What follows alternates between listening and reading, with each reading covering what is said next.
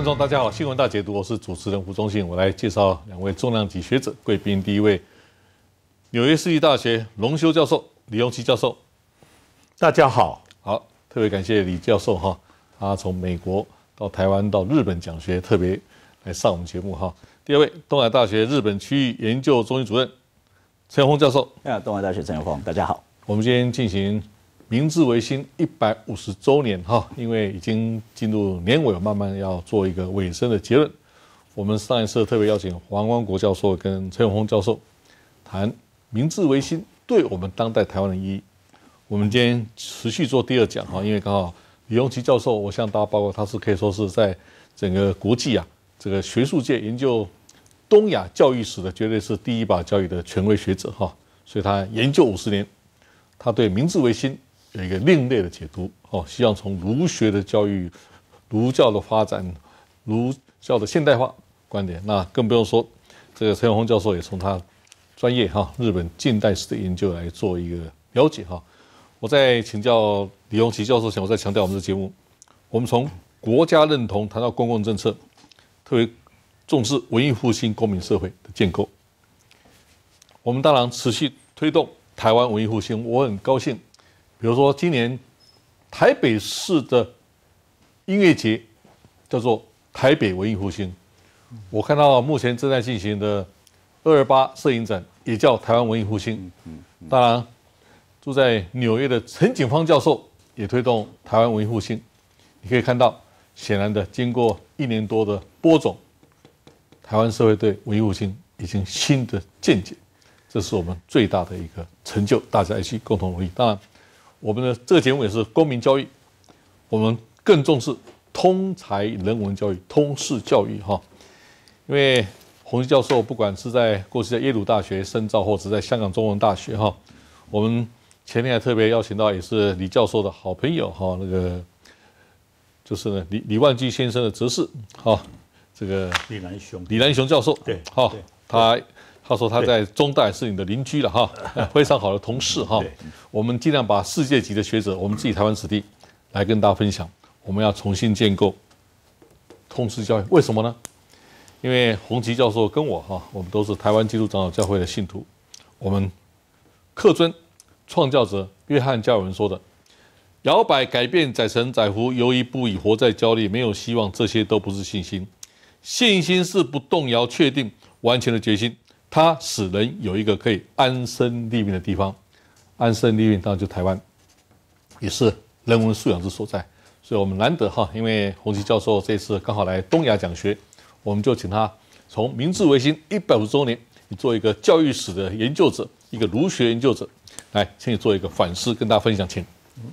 呃，非常谢谢我这个啊，回去美国了已经半年了，那现在呢，这一次因为要到香港跟日本。所以呢，呃，就特地又回来，然后我 一定找胡宗信先生，因为胡先生是我们的老朋友了，而且他的家世跟我的家世非常相似啊，所以呢，就我一找他，他就说要我来讲。我说我对文艺复兴，坦白讲一句话，呃，对于文艺复兴是有些了解，可是呢，对于这个明治维新呢，就实在是。没有什么这个研究，所以今天呢，我就是就我的一些一般性的了解来做一点点这个发言，这样子。好，请好的。那么 最主要呢是这样子，就是在英国呢有一个学者，这个学者呢最近已经过世了，叫做 Ronald Dore。哎，这个陈先生 一定知道，在我的博士论文里面用了他的话，对对对，一定是。那么 Ronald Dore 呢是是研究头高瓦基代，呃，这个这个德川幕府时代的这个日本教育，那它最主要就是讲日本如何在那个时代已经开始有现代化的种子，那这个种子是使得日本呢能够这个发展。成为一个现代化的国家，明治维新能够成功。那我第一次听 Ronald Dore，我相信你们大家都不敢相信，是一九七二年，我还在耶鲁当学生的时候，他来演讲。坦白讲一句话，我完全听不懂这个，这个呃，听英文能力很很有限，但是一直在我的心里头特别是他对于所谓现代化理论的这个提出。那么他认为，就是现代化理论呢，一定必须要跟这个传统有所切割，特别是儒家的文化要有切割。那么这个东西一直影响我。后来我在台大当这个人文社会研究这个高等中心，现在叫高等中心，我们那时候叫做东亚文明研究中心。那在那里当主任的时候呢，我就特意去邀请他来演讲。那那个时候呢，这这个是二零二零零四年还是二零零三年？那他就说我请他来，那时候他的兴趣已经改变了，已经不再做日本做哎日本的这个。但是呢，就是说他有机会还是很高兴。我故意要讲这么一个故事，为什么呢？因为他来了以后呢，那么就说我已经四十年没到台湾了。他说，战后第一次去日本的时候，经过台湾，在基隆港停留了一下子，以后就没有来过台湾。嗯，所以他请我，我请他，他非常的高兴。哎哎，然后呢，他到了最后一天吃晚饭。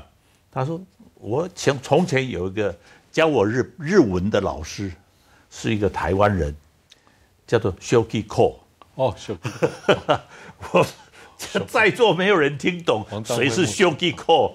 幸好我知道 Shoki Ko 是谁，就是非常有名的我们台湾人当中非常出色的思想家，叫做黄章辉，黄章辉博士，黄章辉牧师。”那么我非常吃惊，他说原来呢，因为 s h o k i k o 战争的时候呢，他到了英国，然后呢，因为是跟一跟日本人是是是敌对国嘛，所以他在那也也落难很困难。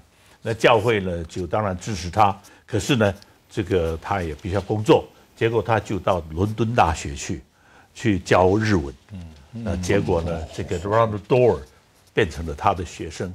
那 Ronald Door 呢？那跟我这样讲的时候，我觉得啊非常亲切，因为 Shuki Ko 也是我父亲的朋友，哎，呃，那么黄章辉战后的许多的故事，我现在不讲他，我最主要就要讲说，这个多尔他最重要的理论，就是说我们现代化理论呢是要跟传统对立起来，嗯，必须要对传统有所认识，而且批判，嗯嗯嗯，那么这个东西呢是当时候了解。所谓德川政府为什么能够准备好迎接明治维新的最重要的这个基础？哎，那这是现代化理论。所以呢，这个我就从这里讲讲。那么既然要讲明治维新，我就想到说，哎，那中国人每一次总是总是觉得日本人可以维新，为什么不能？对不对？那么这其中的最重要的，就是因为中国人，他们中国人呢，对于所谓的这个儒家的传统呢，放不下来。好，这个用张之洞的理论来说，就是说，因为我们现在中学为体，就是儒家一定要当做体。嗯，而在西学不过是用而已，他们不过是船坚炮利嘛。那这东西我们学会了以后呢，我们不必放弃，不必检讨，不必反省这些儒家的这些许多的思想，我们一样可以变成世界的强国。我告诉各位。现在这个习近平不也是这样子吗？习近平习大大他也是讲，我们要恢复中国文化，要用儒家传统来建国。那么现在碰上了所谓贸易战争啊等等许多的问题，我们且但看看吧。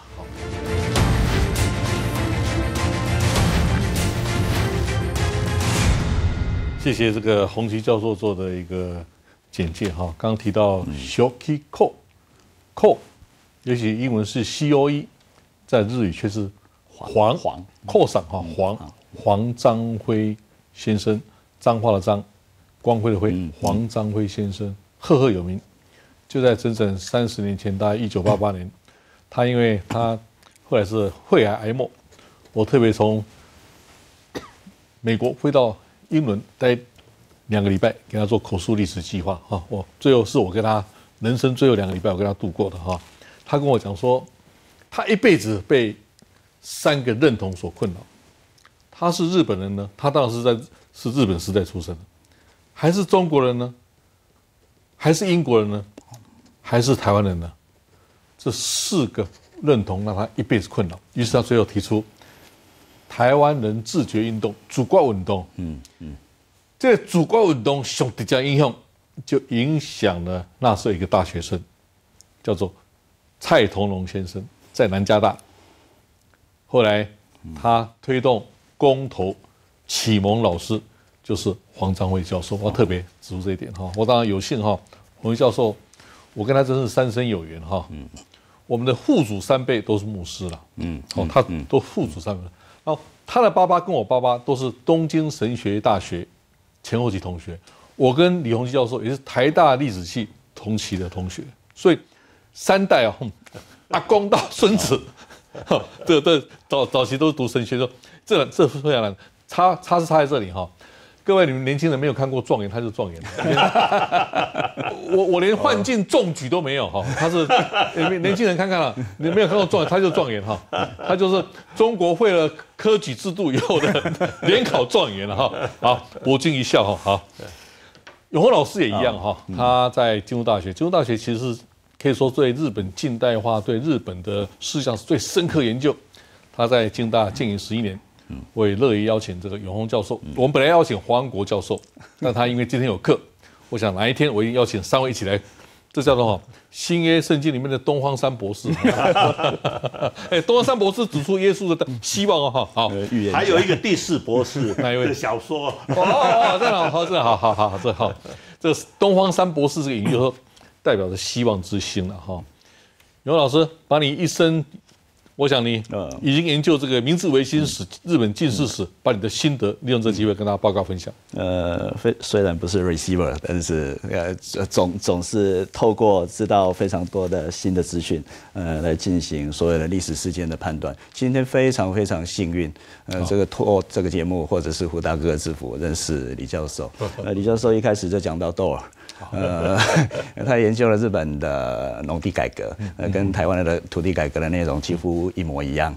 呃，所以德川时代的所有的呃基础，他也处理过，所以才有办法说明治维新呃的基础是从他以来，而且也一语道破，呃，非得让传统后退。呃，否则现代或所谓的现代化没有办法前进。但是那个当然是呃非常不客气的，我来讲的话，呃，批判心理语言的话，是完全站在西方的立场。也就是说，所谓的野蛮落后也是东方的或非西方的了。那一刀切成两边呢？呃，今天我以为黄光国教授要来，呃，所以特别黄光国教授的的的专门当然是心理学。呃，为了跟黄教授没有来的黄教授对话，呃，所以努力的读了京都学派里面非常重要的临床心理学家，叫和和准雄卡哇伊海奥。呃，他。就在讲神话，民族的神话，民族的神话带来了人的心的安定，而他也彻底的说了。哎，导播这本书哈，呃，因为有翻译本，大家可以去拿来看。我念一段何准雄对于，虽然不是针对明治维新，但是是日本的西化。刚刚李教授也提到，呃，中国方面，呃，为什么革新改革会失败，是一直还在强调中学为体，西学为用。日本当然也有过这样的冲突，但是在非常快的速度里面全盘的西化。呃，但是这个也留下了后遗症。临床心理学家完全的学了西方的何准雄，呃，把瑞士的的荣格心理学派带进日本的就是这个人。何准雄认为，日本人普遍性的不安有一部分源自于关系丧失性，人跟人之间的关系丧失，而。全面西化之后，人们一回过神来，突然发现自己与任何人、任何事物都没有连结，在这个世界上是孤独的存在。换句话说，自己既没有日本式的关系性，也没有欧美式的关系性，因而陷入全然的孤独。孤独就会生病嘛。过着日本传统生活方式的人，一直以来都无意识的生活在与家庭、社会、地域的连结当中，与自己周遭的事物也保有关系性。虽然就安心感而言，这是理想的关系，但一考虑到个人的自由，这西方型的。就会让人感觉到受到强烈的束缚。日本人，尤其是现在的年轻人，哎，何准雄当然已经在十年前过世了。他说的现在的年轻人是稍微前面一点的，呃，上一个时代，因为受欧美思想的影响，希望摆脱束缚，获得自由。这是因为日本人自以为引进了欧美文化全部的西化之后，却对存在于个人主义背后的基督教信仰置之不理。个人主义与自由主义经历了漫长的历史，才从基督信仰的文化圈里面诞生。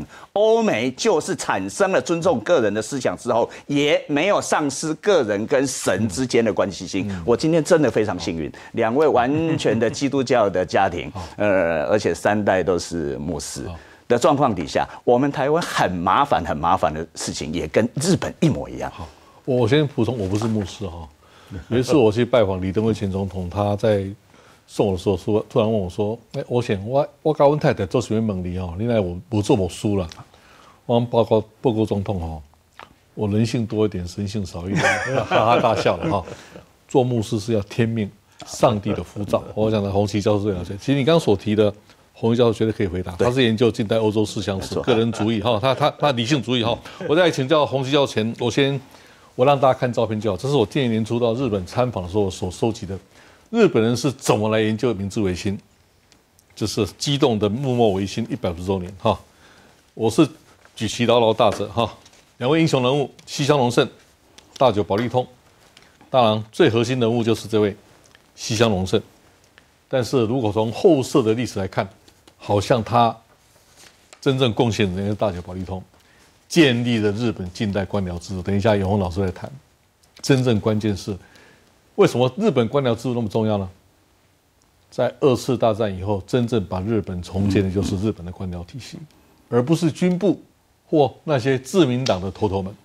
这一点，大久保利通绝对是明治维新，应该说明治维新之子。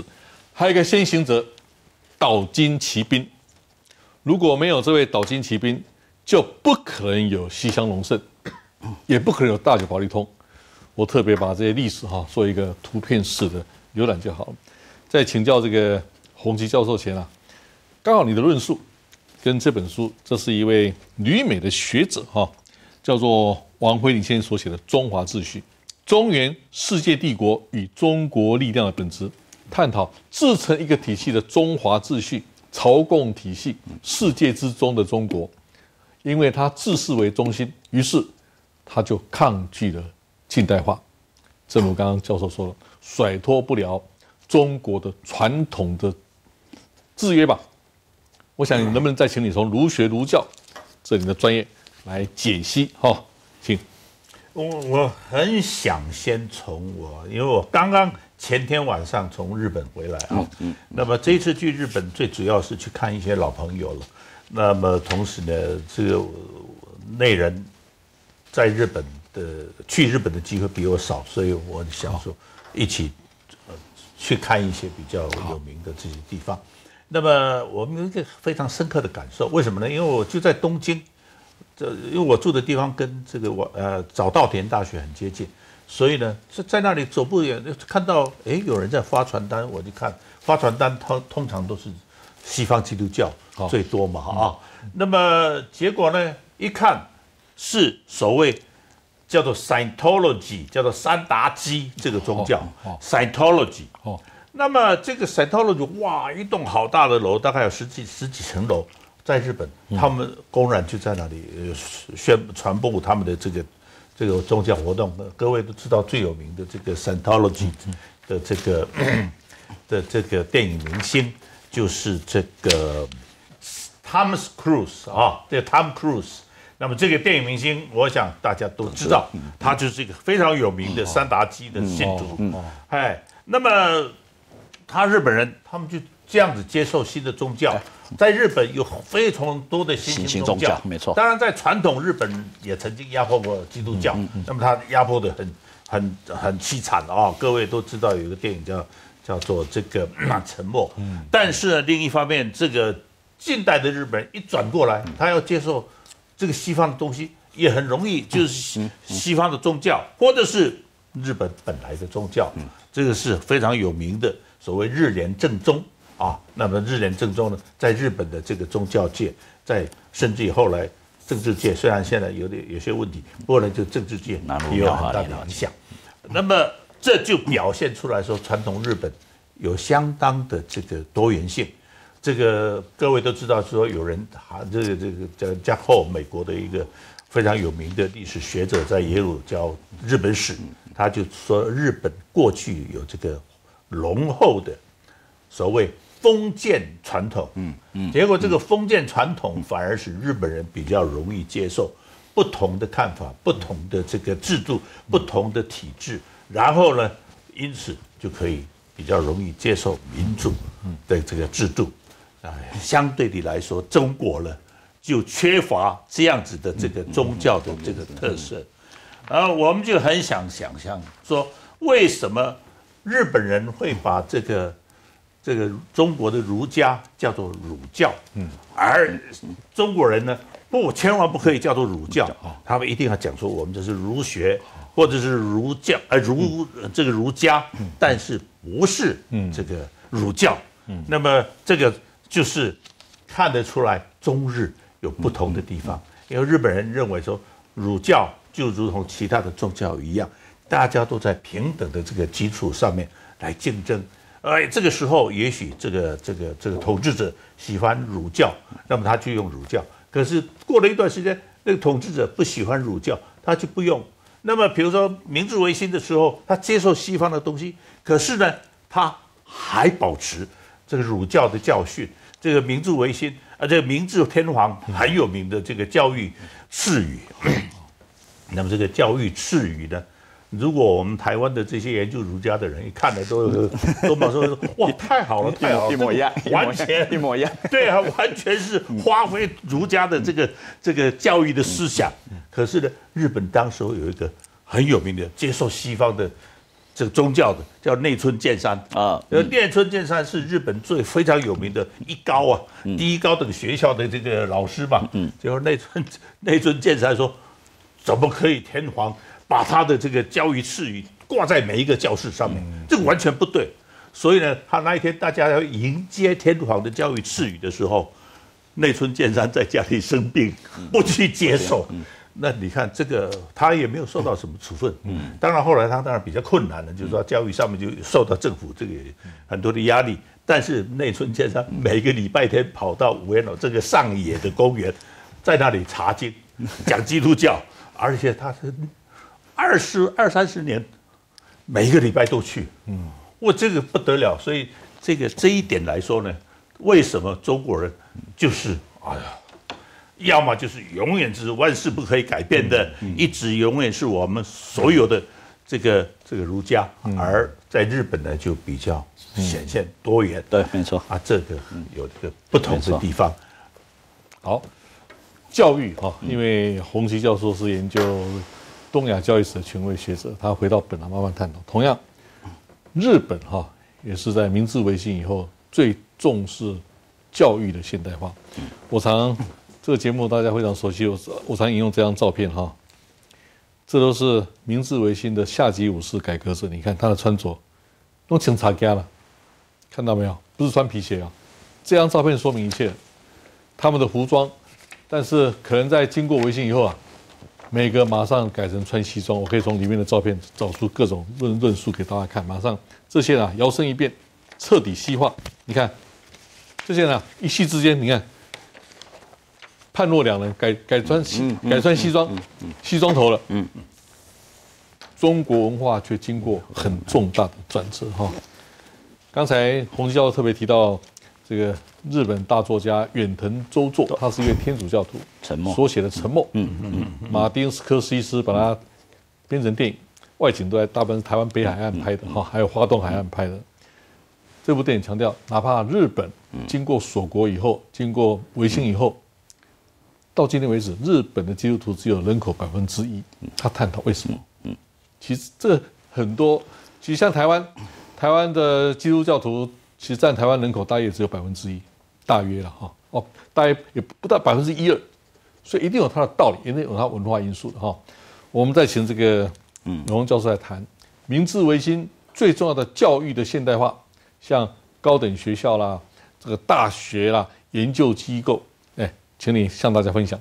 呃，世界第一流的教育学者刚刚好在这一边。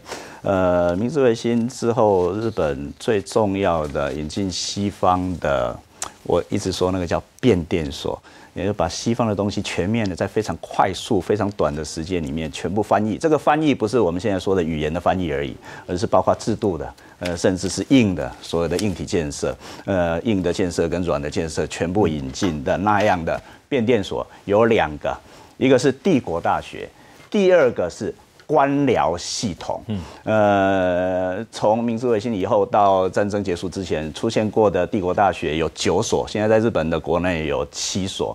呃，在海外就殖民地有两所，一所是呃台北帝国大学，现在台湾大学。呃，这是一九二八年，所以今天刚好是九十年了，九十年的校庆。而且他的四年前在朝鲜半岛出现了一个京城帝国大学，呃，现在叫做首尔国立大学，而这个是殖民地的大学。然后在日日本的国内，从北到南，呃，从北海道到九州有七所大学。第一所当然是东京帝国大学，第二所是我念过的京都帝国大学，差了二十年。然后在后后来有东北大学在仙台，呃，有北海道大学，然后有九州大学，呃，然后大阪大学、名古屋大学，这是在日本的国内，这七七个大学，现在还是一体的哦。呃，他们之间的教授互相的挖角或调职，不不用不用先退职，呃，是用借用的，呃，就转职到其他的大学去。但是各位要记得一件事情，冲绳没有。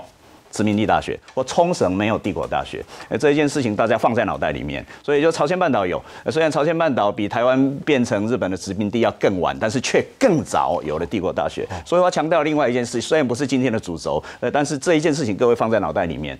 日本帝国主义对于朝鲜半岛的投资的速度，就时间的速度跟它的量，远远超过台湾跟。琉球，呃，但是眼前看起来的，好像台湾是接近日本的那一边，朝鲜半岛是反对日本的那一边，这个非常具有可以反思的题材在里面。我们以后再找机会来处理朝鲜半岛、呃，琉球跟台湾之间跟日本帝国主义的关系。刚刚呃，李教授也提，跟李教授在一起，真的非常有收获。呃，提到了内村健三，内村健三教出来学生叫新突兀道造跟室内元忠雄，全部。是基督教的系统，呃，特别是那村建山的无教会主义，呃，无教会主义当然是觉得，呃，不管是日本人或西方人，我们只要直接透过圣经跟上帝来往就可以，呃，不需要西方的传教士或者西方的教会这一类有形的东西。所以刚刚呃李教授也提到了，去上野公园里面查经，呃，直接接近上帝或说他的基督教。呃，我今天要讲的是。新都护道造跟内村健三有关的新都护道造写过一本书，叫《武士道》。嗯，《武士道》里面全部是中国的传统的东西，但是只有一个东西没有处理，孝顺的孝。但是我们知道，特别是李教授在旁边，孝顺的孝是所有的儒教主义或儒学里面的核心中的核心，君君臣臣父父子子，那是以孝为中心的呃秩序。但是日本人特别把那个拿掉了。怎么样都不处理那一件事，那所以，呃，也就是说，呃，在日本的世界里面，明明知道有那个东西，但是不处理，表示那个社会不强调那件事，把所有的根校或学院主义，或者是呃中国式的儒教传统，呃儒教传统排除掉，剩下的是日本的组织型的要素，这是忠孝的忠的意思。全部是对组织的，呃，所以非常非常轻松的，只要对组织是有正面的东西，全部可以大家往同个同一个目标前进。在这边，帝国大学发挥了非常重要的功能，所有的第一流的本来是下级武士们。进了帝国大学，但后来当然开放了，因为人数越来越多，大学也越来越多的状况底下，甚至殖民地的人，呃，我们认识的好很很多的台湾的人，甚至朝鲜半岛人都念了帝国大学，所以是开放的系统，而这些人都可以变成官僚。哦，帝国大学的法学部，某一个意义来说，是直接的成为日本帝国主义里面养成帝国官僚的最直接的场所，特别是法学部。所以有法科万能论这样的说法，这本书非常非常重要。三四系一的讲法治官僚的时代，它的副标题叫《国家的设计跟知的历程》。导播这边，呃，这本书现在没有办法买到。三四星一跟我有特别的渊源，呃，虽然辈分比我高很多，我也上过他的课，日本政治思想史，呃，但是他竟然在我的指导教授那里拿到博士学位，呃，所以如果从这个立场来看的话，呃，是是呃力量差距很远的师兄弟的意思。三四星一的这一本书完全说明了法治制度的治哦，法治官僚在日本或者明治维新里面的重要性。这本书因为现在已经没有，已经买不到，买不到原版，所以中国书的书市到了日币四五万块日币，呃，非常非常值得看。台湾的出版社的大老板，如果真的要介绍日本的明治维新，还有日本官僚为什么到今天为止在日本社会的重要性仍然完全没有褪色，呃，虽然出过非常非常多的丑闻或者是不好的事情，但是仍然在日本社会里面经营，不用说明，官僚。文官一定要读这本书，我们一定要好好的找一个很棒的机会来好好接受这本书。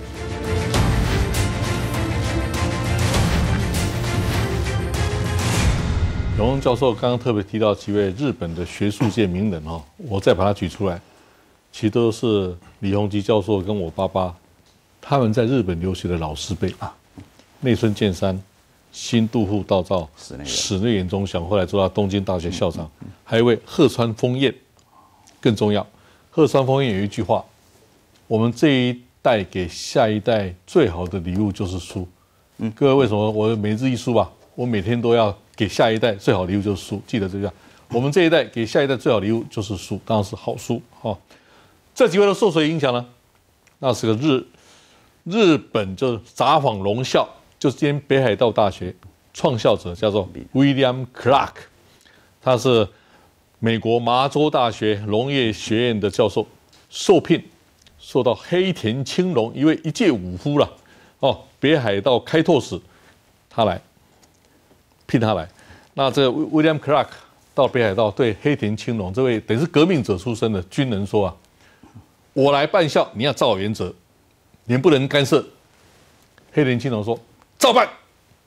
你看，培养精英了。威廉·克拉克在离开札幌龙校的时候，学生送他，他最后挥手一句话：“Boys, be ambitious。”年轻人要有企图心。我这这句话一定要送给我们的所有年轻朋友，要有企图心，保持企图心，要有信心。这是我们强调台湾文艺复兴的信心、爱心、希望最重要的价值。好。刚才不管是内村健三、新都道造、室内严忠雄，包括贺川方彦，他们都读圣经。对，但中国知识分子是读四书五经。嗯，哦，老师比较，读圣经和读四书五经变成什么不同差别？你最最有资格来来做做这个比较，请。这个当然，如果只读圣经，跟只读这个四书五经呢，那么我想都不能成大事。没错，最重要的就是刚刚讲的。读圣经的人呢，通常通常愿意接受其他的书，因为西方的体制教育体制呢，一直强调博文，这个多学，要读很多的书。刚刚所讲的嘛，就每天要有一本不同的书，要知道它的内容。但是呢，在中国的传统里头，一定要有说这个是最重要的书，最好就只读这个，其他读也不读都无所谓。这个是很重要的区别，那么所以呢，我相信 William Smith Clark 哈，他他是美国这个 Massachusetts 地方的人，我还去过他的故居去看他。那么他对年轻人所讲的这个 “Boys be ambitious” 这句话，现在当然是。这个北海道大学的校训，那么因为他说 boys 嘛，所以现在现在我们我们就是说也要包括女孩子，所以所以他们学校就改成 young people 啊，young people be ambitious 这样子，就作为校训。那么他所强带下来的新新杜甫道造了，然后这个室内元忠秀，他们这些人呢，这个都非常重视书，要读的很多，嗯，然后要广泛读书，嗯。啊，很不幸，在传统中国里头呢，当然也说书也要读很多啦。那么你大概四库全书也读不完了。那么这当然是的。可是呢，最重要的就是 经，这个最重要。其他的啊，读不读不不重要，它有这个区别，这是很不幸的事情。在传统中国呢，就是这样，就是只有这个唯一的最高的真理，这个东西抓住，其他呢不重要。嗯，因此呢，这传统中国的这个整个思维缺乏所谓多元的这个特色。那么他们呢，这个 其他的东西都是邪教啦，宗教如果发展成为活动，那就是邪教。所以最近这个中共这个他下令了下的指令，他说是的，我们宪法是有宗教自由，他是讲的是宗教信仰的自由，并不是宗教活动的自由，他们都做成这样的区别，那这个就是啊，我我想这是所谓凹了，你把它凹了凹，你你你在心中偷偷信。我抓不到也就算了，但不要不要到教会里头去，大家去联络。呃，产生友谊，然后做成活动，这就不好了。你看，这个就是，所以呢，传统的中国呢，这个太过重视四书五经了，那影响所及，包括我们在台湾也是这样子。嗯，那各位都知道了很多很多，有时候读经班呢，我也不反对读经，但是你如果要像这样子读法，那我想。我我想是太太令人觉得这是五体投地读书啊，就 是吧，就是吧，就荒唐啊，荒唐。这是说想到说在韩国的这个考试的考试的韩国人考试没有给你桌子，所以你在地上研墨，然后在地上写答案，那就很像那个样子。呃，我想这个是。不幸啊，这是非常不幸。然后他这里还有一个状元桥了，让小孩子们的背背经啊，背经啊，背得好的话呢，就经过状元桥走过来哈。我也不知道我当时是怎么走过来的哈。哎，所以这样子啊，那么好了，你读经呢，然后最最重要的、最典型的这个东西呢，就变成了你 你的这个思想的统一的思想。然后呢，这些东西。怎么样灌输给你？就是由你的老师、由你的父母、由你的传统、有你的政府、有你的皇帝、天子，他们灌输给你，这个叫做天地君亲师。嗯，好。那小孩子不懂什么是对，什么不对，那也不教他们说应该要懂有批判的精神，应该有思考的精神。嗯，就说啊，那你就听你爸爸妈妈怎么说嘛。啊，听你的老师怎么说嘛？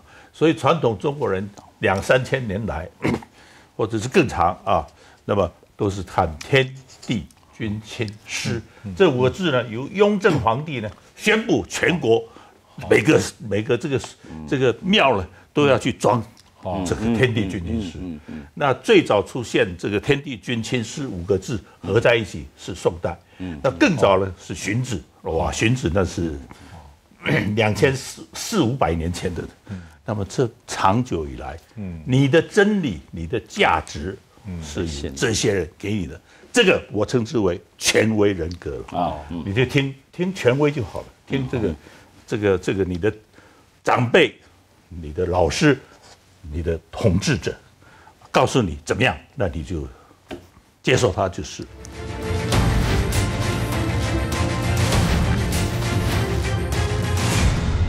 洪基教授所叙述的，让我想起啊，在中共十九大的致辞的时候，习近习平习近平总书记这样讲，请大家听了不要笑出来哈。他说啊，他在任内要把中国的民主让全世界的普世价值，重点差不多这样子。我看我我我要跟那个趴在学趴趴在地上快笑出来了，就说中国的民主变成全世界的普世价值，有可能吗？哦，我希望年轻人哈。好好重新了解明治维新，你未必要读很深的学术。我特别介绍两本哈，这是我一个非常年轻的朋友啊，他笔名叫牛奶杰了，三十多岁，他跟我说到日本已经七十几次了哈，几乎有空就到日本旅游。他写一本书叫《明治维新一百五十年的散册》，什么意思呢？日本列岛明治维新景点，吃喝玩乐慢慢游。好，你就这样吃喝玩乐慢慢游好了，用这种方式也可以了哈。博览群书，广结善缘了哈。广呃，走动式管理也可以。他另外一本哈，《明治维新一百五十年散册》哈，漫游日边探访交通、民生、工商建设足迹。哦，其实这是个办法哈，你不一定要读厚重的书了哈。虽然这个马克吐温说厚重的书是来丢打架的猫了哈，薄薄的书是来垫那个椅子不平的哈。但是有时候用旅游方式、文化景观也是可以了解明治维新，所以年轻人不要太大压力，你要培养的企图心哈。Boys, girls, be ambitious 哈。我想这点时间是不是请两位哈？因为我们时间有限，来做一个简单的结论。我要请教说，明治维新一百五十周年，对我们当代，我要希望我们年轻人，对我们当代的台湾年轻人，三五四代，好。十八岁到三十五岁有投票权的手头组这些人，意义是什么？我希望鼓舞他们，是不是先请永红教授，再请洪志教授做结论？请。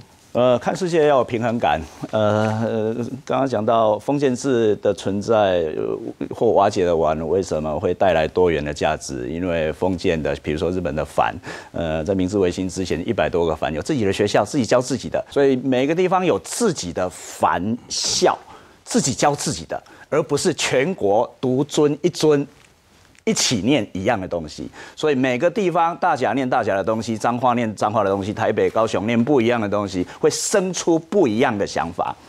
呃，所以也就是说，各式各样的对应时代的问题，会有各式不一样的解方。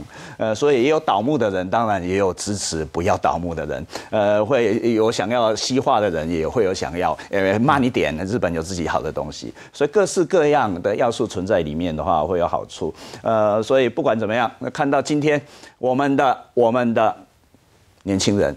呃，刚刚主持人讲说，十八岁到三十五岁，十八岁到三十五岁，人家期期待的百分之百不是一元二元，而是多元。呃，不多元的话，他们没有可能性。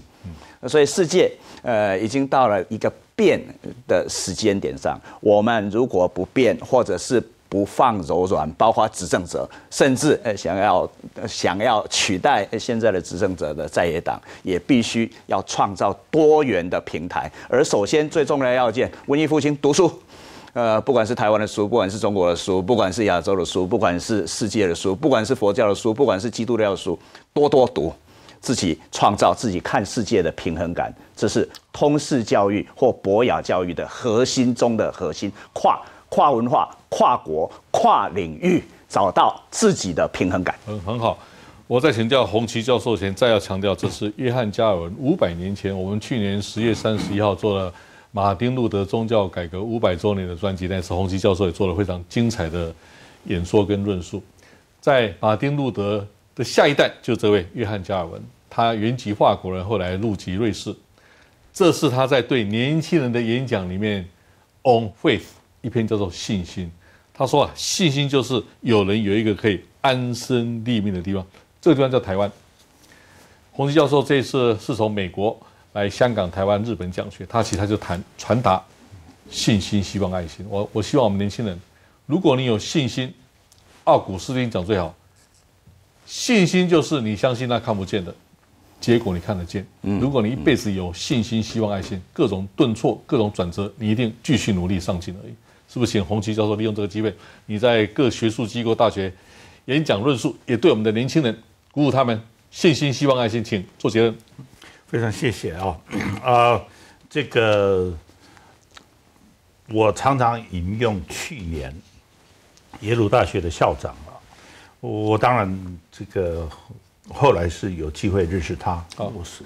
但是呢，就是说我当当学生的时候，他都还没上研究院。好，那么他这个耶鲁大学的校长，他在欢迎新生的时候呢，他就提倡说：你们啦，要多读书，要做一种狐狸。为什么他说是做狐狸呢？那么他说，因为从前有一句话非常有意思，他说狐狸知道很多事情，而这个刺猬啊，刺猬哈，刺猬呢，hedgehog，这个。刺猬呢，只知道一件大事。他说这是古希腊哲人中有这么一句话。但是经过了二十世纪，一位非常伟大的这个英国的思想家叫做柏林啊，艾莎柏林，那他说的解释，他说刺猬呢，他就是知道一件事情，死守的那件事情，想来想去就是那件事情。他说你们读书呢，不要这样，嗯，读书要像狐狸一样。因为狐狸知道很多事情，他就鼓励大学生四年当中要尽量多读书，将来你自然会发现有哪一些是你所最能够忠养的，成为你生活中心、安心立命的这个中心信念。所以呢，我常常鼓励学生，的确啊，他作为一个大学的校长不容易啊，那么他居然有这种敢干，嗯啊，希望学生们要记得。所以呢，啊，我今天因为谈到这一点，对，所以呢，就把把它拿出来，也再跟大家做一次申述。好，感谢洪奇教授跟永红教授，我就把他们的论述用六句话来形容：博览群书，广结善缘，有志进城，束缚之心，以诚待人，处事为公。你只要记得这六个原则，绝对人生非常顺遂，而且对社会有更大的贡献。感谢两位，未来。